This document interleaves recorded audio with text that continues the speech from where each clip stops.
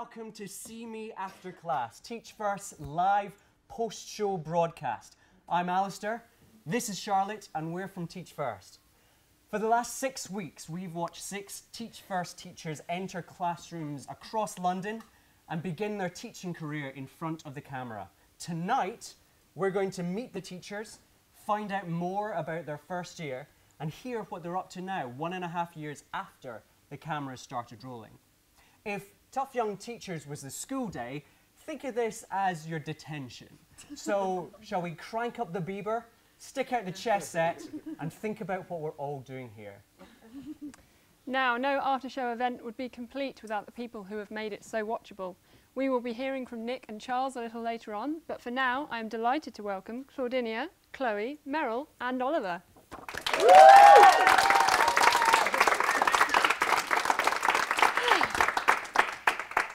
Guys, thank you so much for being here um, and for joining us after what I'm sure has been a very long day at school, but almost half term, right? So, great. Um, so, as you know, uh, we have just watched episode six of Tough Young Teachers, and we, for the last six weeks, have been watching what I'm sure was one of the toughest years of all of your lives. Um, Oliver, I'm going to start with you. Hello.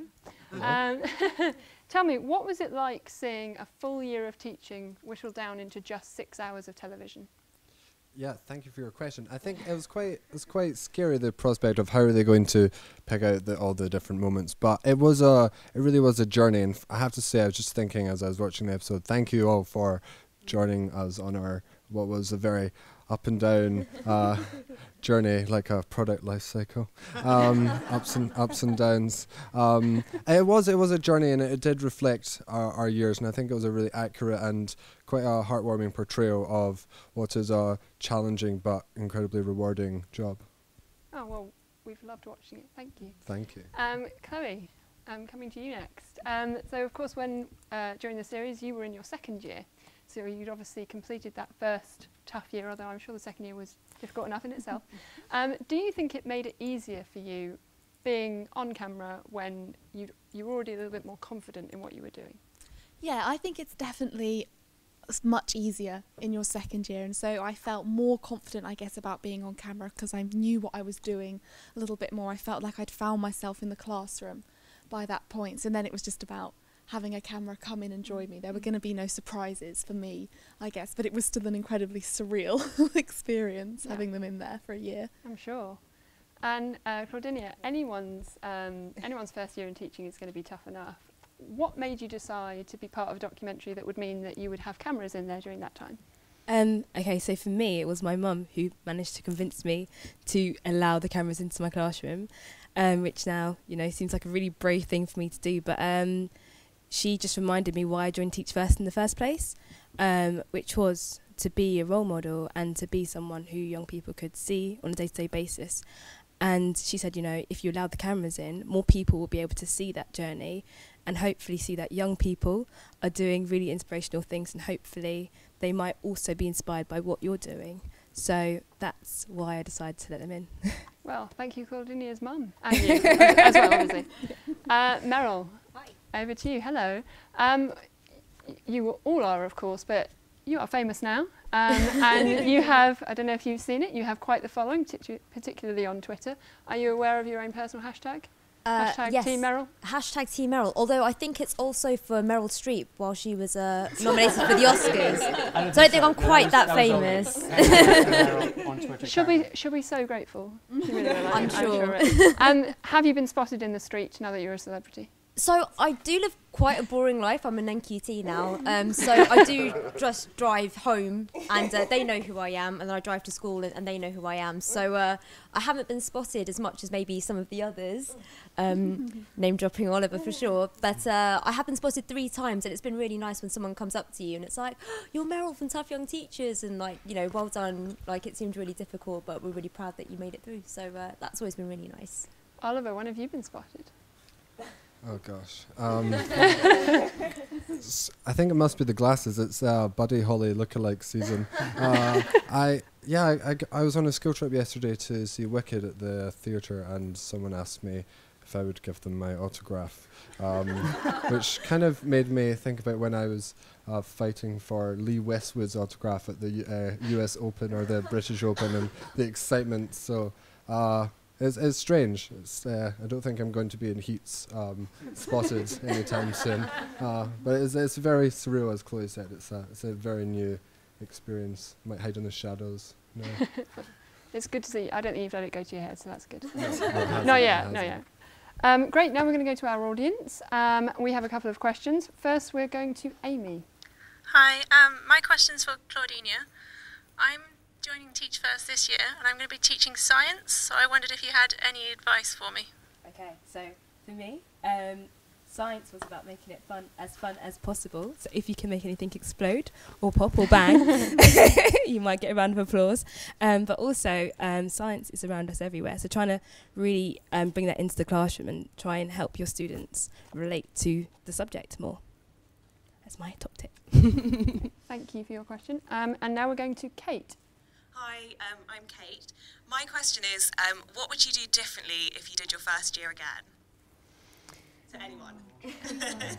Uh, Oliver, do you want to take that first? Oh, um, what would I do differently? Oh, gosh, um, I think there's Write so m- there's socks, there's so many. Um, invest in more than one pair.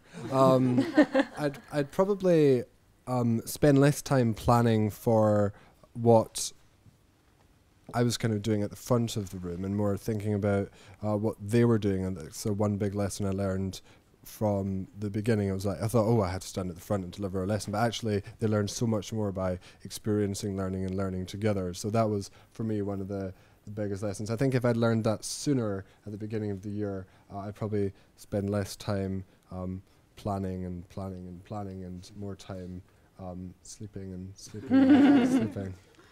Chloe, what about you looking back? Um, oh, looking back, I was just trying to think of a good one while he was thinking, while he was speaking. Um, I think if I could do my first year again, I would. I know everybody says it, but I would be a million times more consistent. I think in your first year, you want to try out so many different things, and you, everyone's telling you and giving you different advice of brilliant things that you can try. But I think I would have liked to have gone with my gut a bit more and thought, actually, I think this is going to work for me. I just need to stick with it and eke it out a little bit longer to give it time to have that impact. So I think kind of going with your gut feeling more because you've got so many wonderful people around you giving you amazing advice, um, but you can't do everything. So I think just going with my gut a bit more about what I felt was right and trying it out a bit longer and being more consistent with it is what I would have done. That's great, thank you. Great question. Um, and now we have Emma. Hi, uh, my question's for anyone really. Um, do you see yourself staying in teaching long term, and if so or if not, why? How about you, Meryl? Um, so I guess I, I mention it probably in every episode how much I wanted to be a teacher. So um, yeah, you know, I'm I'm very excited to, to still be teaching this year, and um, you know, obviously we'll want to keep doing this for as long as it, it feels right, and I feel like I can make a difference. So hopefully that'll be a really long time. There's a good quote for this. Oh, here we go. Of course Anyone hear there a quote is. from Oliver? There's a good quote. There's a manifesto called the Holstee Manifesto. And it says, "Lo- uh, "Love what you do. If you love what you do, do it often." And I love my job, and so I have no plans to leave because I think if you love what you do, then there's absolutely no reason to leave. Great. Well put. I got that one right. Yeah. we'll check it on Google later. Thank you for all your questions. For those of you watching online, you'll have a chance to ask the teachers questions later on. If you want to ask them a question, go onto Twitter and tweet us at Teach First, or go into our Facebook page, facebook.com slash Teach First, and post your question in the comments section. Now, let's go back to summer 2012. London had just held its best ever Olympic Games. We just had the wettest summer in 100 years. And Teach First's largest ever cohort, nearly 1,000 teachers, were starting their career around classrooms across the country. And for five of those teachers, and Chloe, their every thought and their every class was going to be in front of the classroom. Now, one of the main reasons we at Teach First uh, supported this series was to inspire more people to choose a career in teaching, whether through Teach First or another training route. Someone else who wanted this documentary to inspire more people into teaching was one of its stars, Charles. Now, unfortunately, Charles can't be here with us tonight, but we spoke with him earlier this week, and I started by asking him what it was like to be teaching now the classroom was free from the cameras.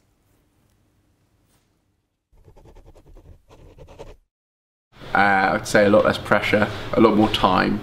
Um, but I think, I mean, I've enjoyed being part of the process of making the documentary, and I think it's achieved a lot of the reasons why I went into it in terms of raising the profile of teaching, um, giving more publicity for Teach First, um, and I think just giving the public an idea of what it's like to be uh, learning how to teach in a school uh, like the Archbishop Lanfranc School um, or Crown Woods or Harefield.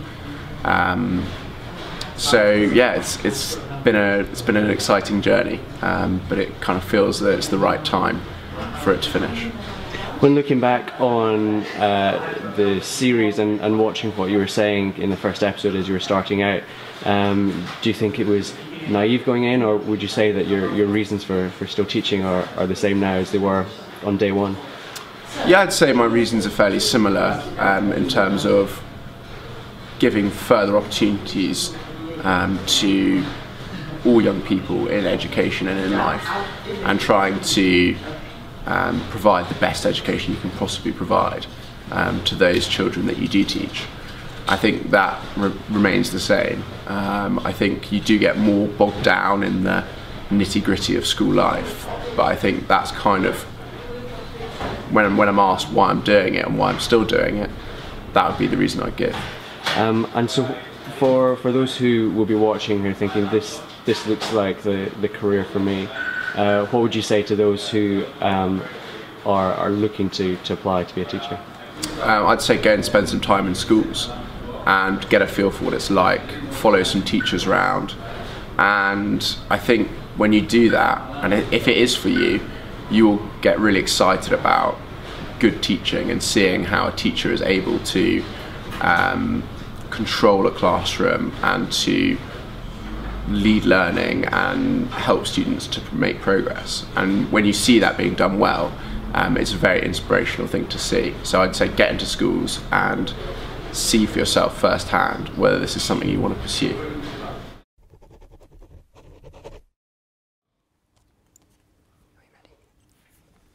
Um, we just saw there from Charles his reasons for wanting to go into teaching. Now, Claudenia, tell me, what were your reasons for wanting to go into teaching?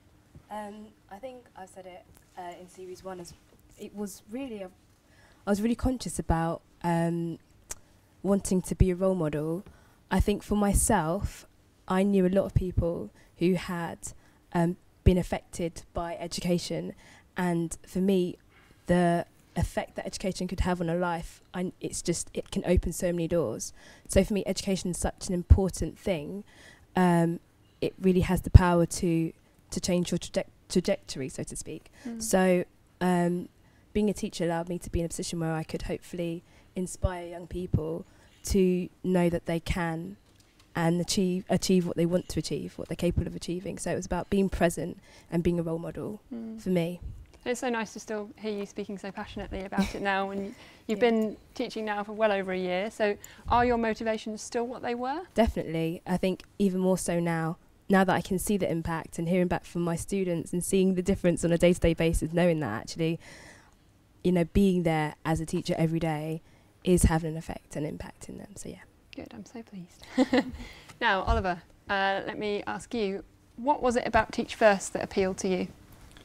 Um, if I'm if I'm brutally honest, when I was applying, thinking about applying for jobs after university, I wanted to do something that was challenging and also rewarding. I thought back to experiences I'd had previously, teaching in English in Israel in a special needs school, teaching uh, music to autistic children for my Duke of Edinburgh um, award, where which were both incredibly rewarding experiences. So I looked at the Times 100 graduate programs and I looked at the list and I saw Teach First and I thought this looks really really rewarding. I talked to my parents who are extremely supportive and and I thought this seems very similar to something I'd done before and something that where I thought maybe I could actually make a difference as a graduate and not go down the um, route into accounting or law or business, I actually do something that has a real impact on lots of different people. And there was Teach First. Well, we're definitely delighted that you did. Thanks for having me. Um, uh, now uh, we have a few questions from Twitter, which I'm going to ask you. Um, first, we have one from at Devon Savage, which is um, from the Summer Institute through your first year. What was the hardest thing that you faced? Um, let me ask Meryl that question.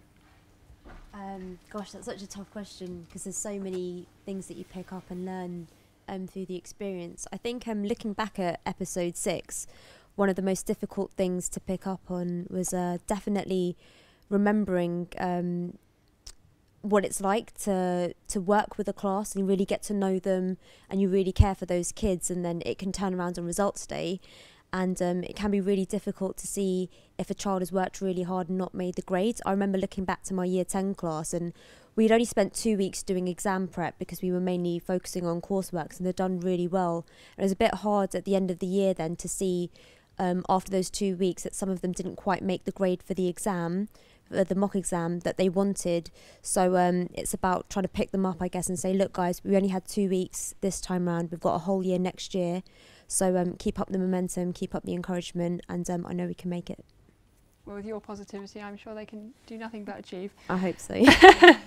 um, and now we have one from uh, Steve Smith, who says, uh, I am about to embark on the Leadership Development Programme with Teach First uh, this year. What one piece of advice would you give me following your experience? Who has a piece of advice that they'd like to give to Steve? Should we start with our expert? Is that why you are, Chloe? Go for it. Um, I would say to my one piece of advice would be to just seek support from anyone that you can. Don't be afraid to ask for help from your colleagues, from your mentors, from your senior leadership team, from your Teach First tutors. Like everyone is there to help you want to try and do your best. And I think sometimes you feel like you're going to be getting in their way by asking, but generally, I think people love giving advice. It makes them feel good about themselves as well. so, um, and you know, they're more than happy to give it. So I wouldn't be afraid to go and seek advice as soon as you need it. That would be my biggest piece of advice, I That is guess. great advice. great advice. Anybody else have a snippet they want to share? We could also, um, I think, uh, I think in the whole, the whole series, there's a lot about me saying, "Oh, I've never failed. I'm scared to fail and fail, fail, fail." Um, but actually, failure's great. Um, failure allows you to learn, and don't see failure as an obstacle. See failure as a learning opportunity. Uh, and I think if you go in with that mentality, uh, you can grow much faster and and and yes, it is overwhelming, but uh, I think it's supposed to be because it is a new experience, and and just dive straight in, and and you'll see great results. That's really good advice. I also think you have enough material for your own little quotes book. Maybe an on the side money making venture. Yeah, next to some bathrooms in the toilet. Yeah. Now, uh, we have a last question from Facebook um, from Amise, which is it's a big one. Um, if you were given the opportunity to change one thing about the way the UK education system works, what change would you make? Uh, Chloe. you all looked like you didn't want that question. Sorry. Good luck. Wow, I don't even know where to start. So, if I could make one change to the education system, what change would I make? Um, oh my god, that's impossible. I I would want all the kind of services to be more integrated. I think, if that makes sense. What do So- you mean by that? Oh, I don't really know what I mean. so I mean, um, I would just want. So I so in the program you see um, lovely, lovely Bruno, who I taught, and he lives such a tough little life. He lives in one room with his mum and his brother in one little bedroom with a shared bathroom with loads of other families. So they've obviously got some kind of external support looking after them, but the school wasn't aware of that.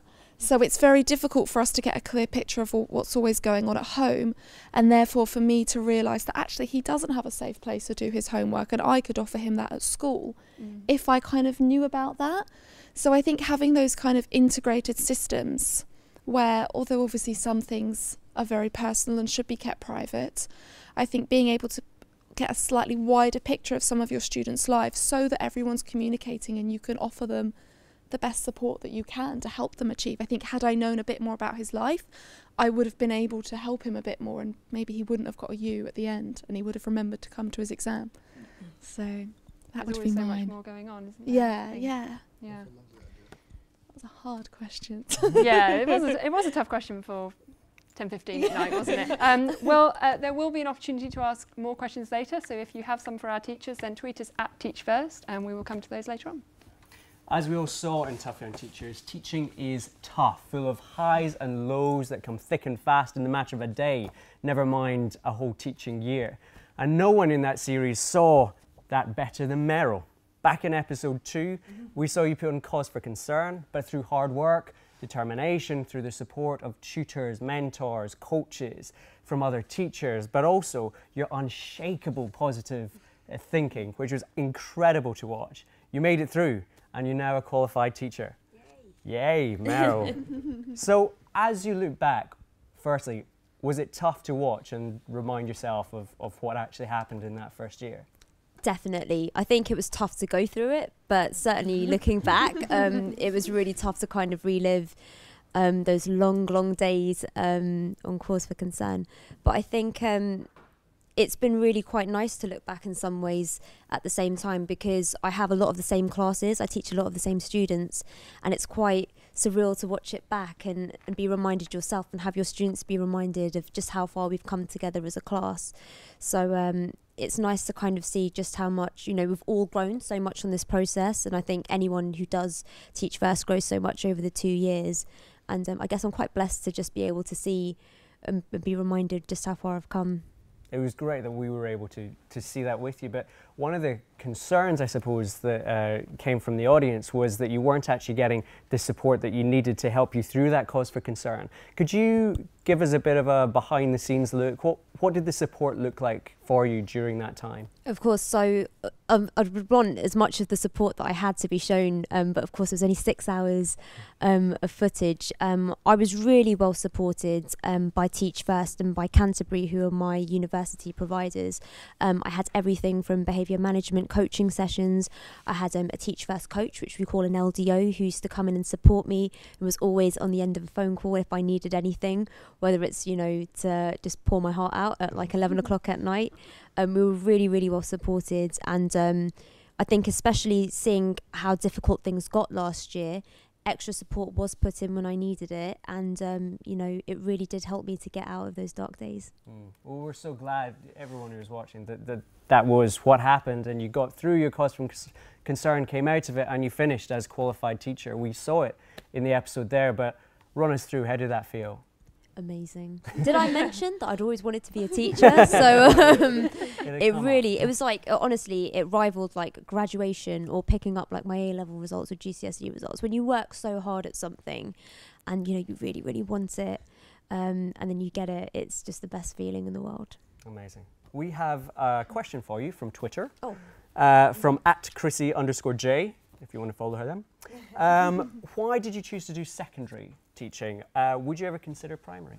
Okay, so I did consider primary. Um, when I wanted to go into teaching, I wasn't really sure about what age group I wanted to teach. Um, and uh, prior to going to university, I took a gap year and I worked in a tutoring centre in northwest London for 14 months. And um, I taught, uh, I was an English tutor and I taught English to 5 to 18 year olds. And um, throughout that process, I learned a lot about teaching and uh, what what I wanted to specialise in. And I found that I definitely wanted to specialise in English, and I would have the opportunity to do that in a secondary environment. And also, I guess, as much as I love the primary kids, um, I think I uh, felt that I was able to make more of a difference in secondary with the secondary syllabus. Um, so yeah, so I think secondary was the winning choice for me. But I mean, I think a lot of people have the perception that primary school uh, teaching is perhaps easier. It really mm. isn't. A lot of my friends in primary, I see how hard they work, mm. and um, you know, I salute anyone in primary education. I can't imagine doing what they do. My mother will be delighted. We're saluting her right now. Um, as we saw throughout the series, uh, one of your biggest sources of support was your little brother or distant cousin, Nick. yes. As we saw in tonight's episode, Nick made the tough decision uh, to leave after his first year, and he's now in France uh, with his wife while he can't be here tonight, he has sent us from all the way over in France a message. Let's watch what Nick has to say. Good evening, everybody. Um, uh, I hope you enjoyed episode four. Uh, it's not actually evening for me at the moment, but I know you'll be watching this in the evening. Uh, I'd like to just say a few things. The first is that uh, for me, leaving was one of the hardest decisions I've ever had to make, mainly because I loved what I was doing, um, and also just because it was a huge dilemma. Um, I'm now living in France and have been for six months now, and it was definitely the right decision for uh, my wife and I and the family that we're going to start building. Um, but I am sure, I am fully sure that I will be returning to education in some way, shape, or form. Uh, so I've been asked to speak a, a, bit about peer support and what I lived uh, with Meryl during that year. Uh, so that was something, peer support was something that I think was absolutely essential. It's funny because we don't talk about it that much in the training in Teach First, but both Meryl and I, I don't think, couldn't have got through without each other. And why is that? Well, actually, funnily enough, teaching can be quite a lonely job, I think, because you spend a lot of time in your classroom.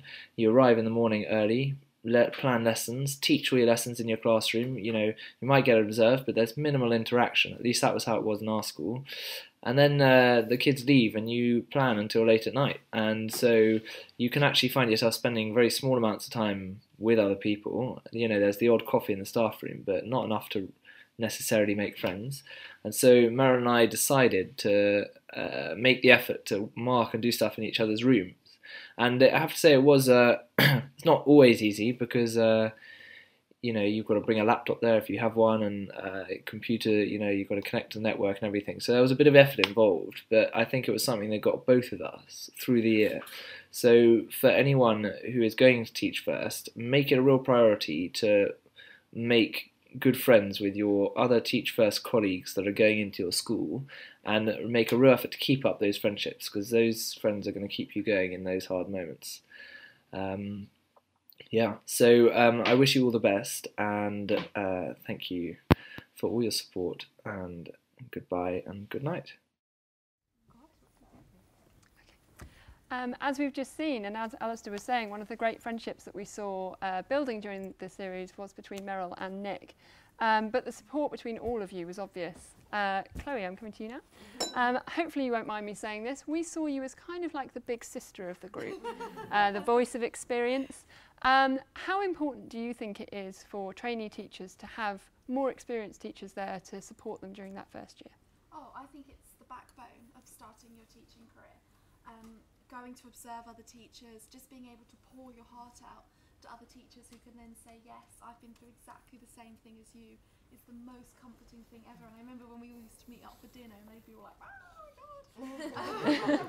and I was like, oh my God, I know exactly how you feel. I felt so sorry for them, but also so happy for them that they were about to come through this amazing thing and come through the other side and knew that they were going to love it in the end. But um, I think it's really, really important just to know that someone else has been through the same thing that you've been through. It's just the biggest source of comfort during your first year that you're not alone in that sort of frightening little journey.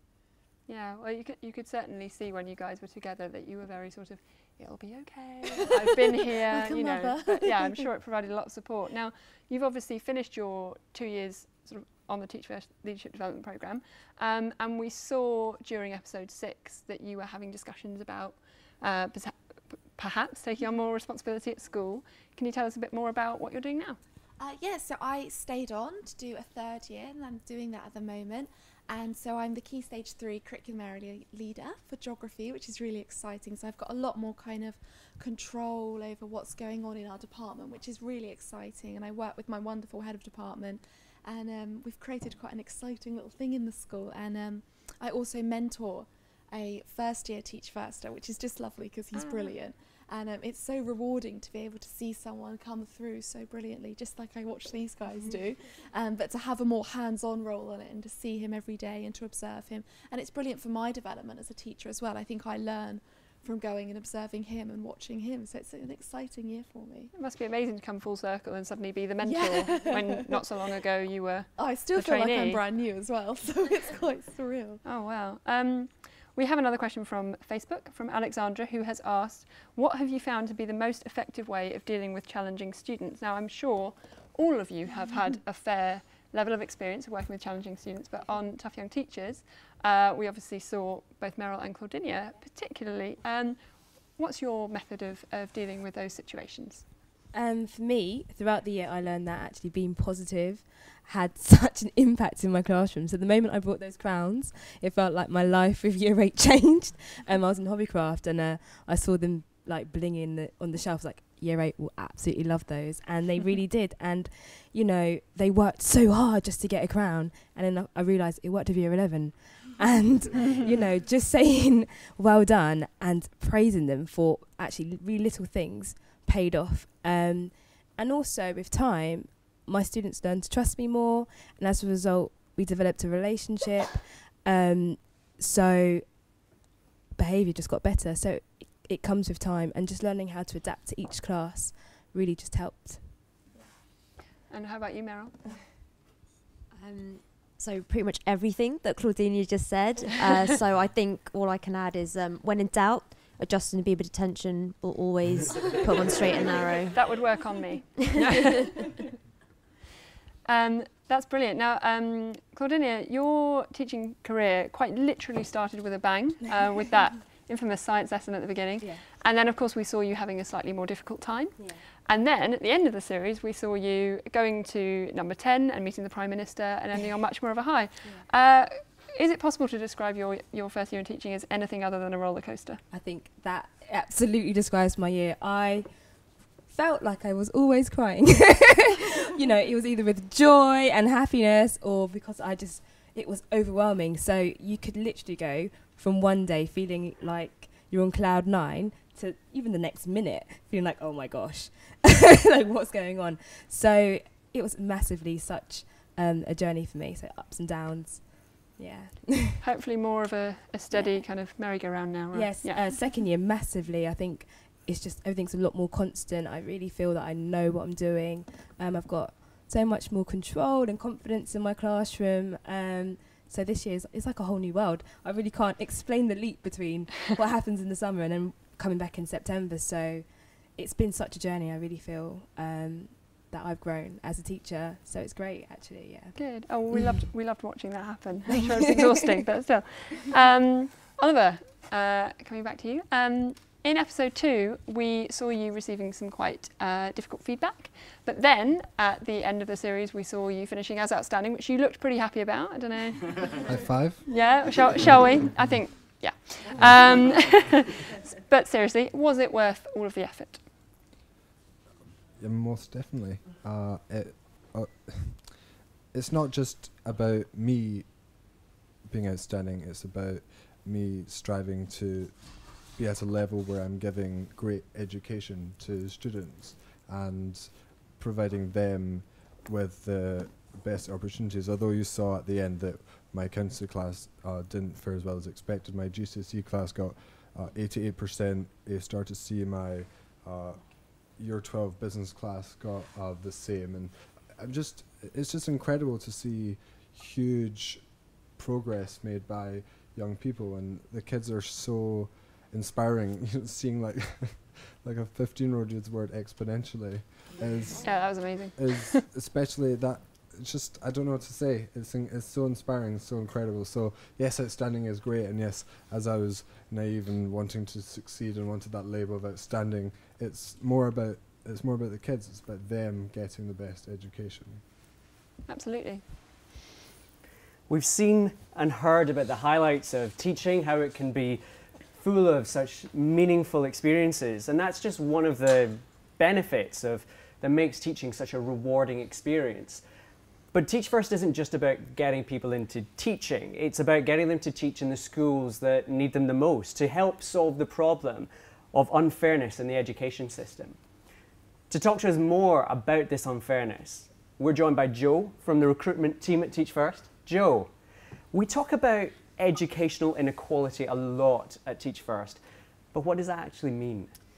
Well, today in the UK, if you were to take two four year old children, the best indicator of how well they do at school um, is to look at how much money their parents have. And we don't think this is right, and we're really doing something about it. Um, one of the ways we try to tackle this issue is by placing inspirational uh, and passionate teachers into classrooms around the UK, like these guys here tonight. Um, it really is a national problem, and we're really trying to do something about it. So it sounds like we need to get more people into teaching. What do you look for when someone applies and, and puts in an application to be a teacher through Teach First? Um, well, we know from the show it takes a lot more than just academic credentials to make a great classroom leader. Um, that's why we uh, recruit against a number of competencies that can really help establish that connection between pupils and teachers. Um, things like humility, respect and empathy and obviously resilience. Um, also, um, just to add to that, sorry, we also really value experience. Um, what the show doesn't um, show you is basically that over a third of our participants um, have already been working and are not fresh graduates, um, and they bring with them a wealth of experience into the classroom, which we really value. So, what if, for example, say I didn't work here and I just watched the Teach First docu- uh, the Tough Young Teachers documentary, and I thought, yes, that's it, that's what I want to do. How can I find out more? Um, I think your first port of call would be the website. There you can find out more about the charity, more about the uh, um, issue of educational disadvantage, and also register your interest and apply. Um, if you're at university, you can come and meet us on campus or come to one of our events. Basically, just get in touch and find out more. Brilliant. I'll pretend I don't work here and do that. That's great. Thank you, uh, Joe and Alistair. Now, I think that's enough of our questions, although I would love to continue. Um, now it's over to you. For the last few days, you have been sending your questions via Facebook and Twitter for our teachers, and we're going to go through as many of those as we can now. Would you like to come and join me for this, Alistair? Um, the first question you were going to ask. Oh, thank you. First question is from I'm Not the Doctor, love it, from Twitter. how have your teachers, your own teachers, shaped your approach to the classroom and how much comes from yourself? Oliver, I'm sure we could share some many stories from our. Yes, Alistair and I went to the same school. Um, oh gosh, nice. Did very well justice. Um, for me, my business studies teacher uh, when I was at school was just incredibly passionate about not just business but also teaching and uh, being a teacher, and he just had exude, uh, exuded this just passion for for his subject, which is for me is a massive was a massive lesson. If you're passionate about what you do in the classroom, the kids become passionate too. So for me, it's a chain reaction.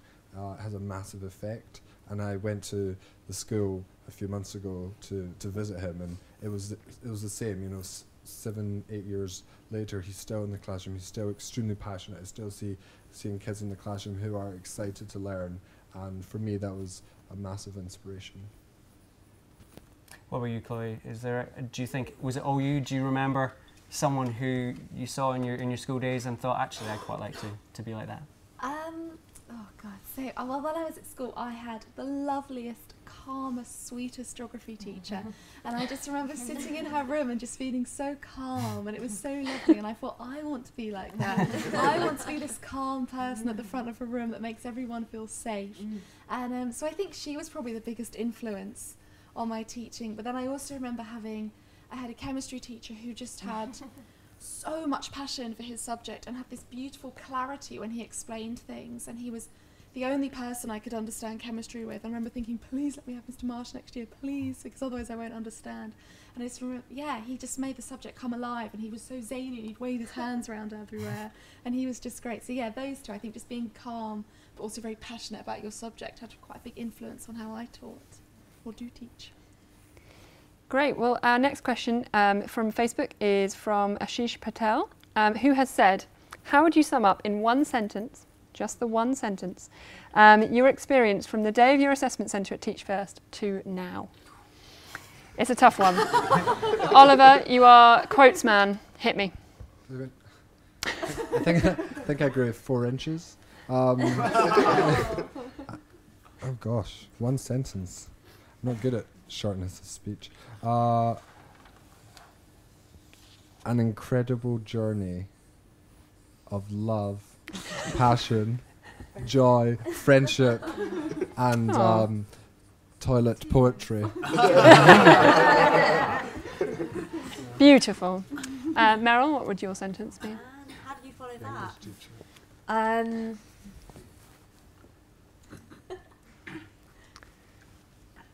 oh, it's so cliche, but the most rewarding thing you'll ever do, and oh no, why did I say and?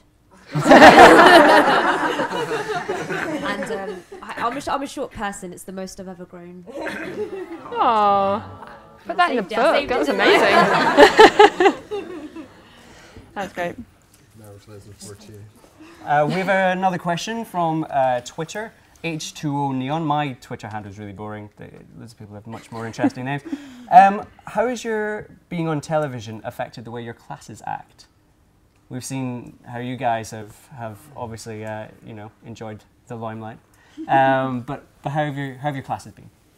Um, I'll just quickly say a lot of my students from last year, who I still have this year, have been really, really sweet since the documentary's come out and have said things like, you know, oh, madam, why don't you tell us that, you know, you were getting in so much trouble? Like, no teacher could have handled that class. We would have behaved if you told us you were going to be fired. And I thought, yeah, right, guys. Like, I'm going to say, oh, guys are going to be fired. Please behave. They would have, you know, I'm sure, played some people more. But um, they have been really sweet and uh, we've come so far. And it's just really nice to see that, you know, they did care back then um, and they do care now. Can I share? Yes. Um, I just found this quite funny. Yesterday, a student, so sweet, came up to me that I didn't ever have never taught before, and said, "Was it difficult learning the script?" Which I thought was uh, very sweet, um, and it was very difficult. Um, it was. It was. Um, and yeah, the kids are really, really supportive. They, they shared the journey with us, uh, the students that we taught. So it was never really a surprise. They were just kind of seeing what they, how they, how they act. And my students are have been remarkably well well behaved um, in last year and, and this year. So um, a few go to the toilet, sir. Uh, but apart from that, um, it's it's been really positive, very positive, and it's a positive show. So it should be. Good. Well, we uh, we have a question now about that uh, famous first lesson that you'll you'll remember so well um, from Facebook from Rachel Edwards, who has said, if you could if you could go back to your first ever lesson, what if anything would you would you do differently and why? Uh, Claudenia, we were talking about your first lesson a while ago. Is there anything you would change about that lesson? Not scream when the balloons go off. I think that added to the That drama. anticipation, honestly, my heart was going it's like, why is it not bursting? But um, no, um, I practiced that lesson for like a whole day before, so I felt really prepared for it. So um, for me, it was just about making my students as comfortable as possible because they that was their first day, so I Mm. could see how scared they were. So um, it was a new experience for the both of us. Um, so I would just say be prepared, practice as much as you can, and it should be fun. You might get a round of applause. I wish we had time to ask more questions. Thank you so much to everyone on Twitter and Facebook who've given us uh, your questions. But some of us have school in the morning, so we're going to have to round up there. Can we give our teachers uh, a round of applause, not only for tonight um, and not only for the last six weeks, but for the last 18 months that they gave up to let us into their lives? So let's thank our teachers.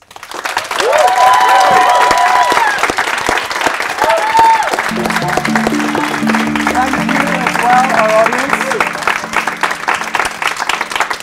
Thank you, everybody in the audience, for coming along tonight. Thank you for watching online. If you do want to find out more about Teach First, go to teachfirst.org.uk or follow us at Teach First on Twitter. But for now, from all of us here, good night. Good night.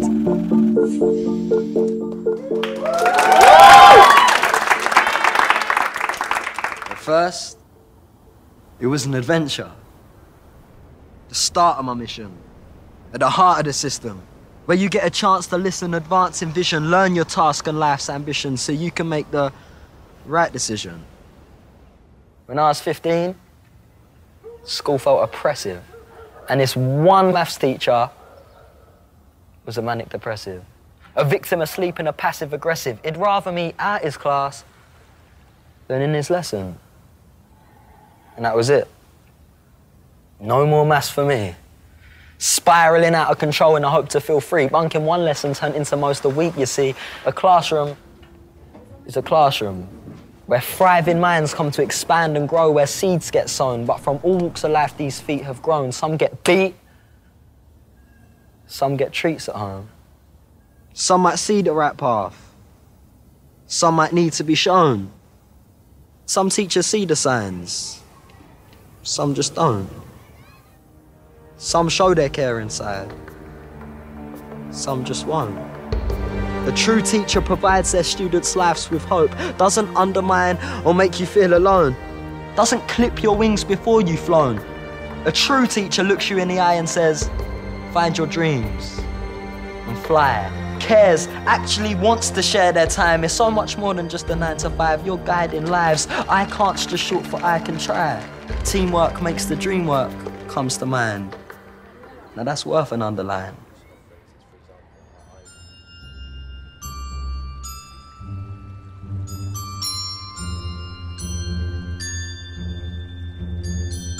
The best teacher I ever had showed me the magic in life.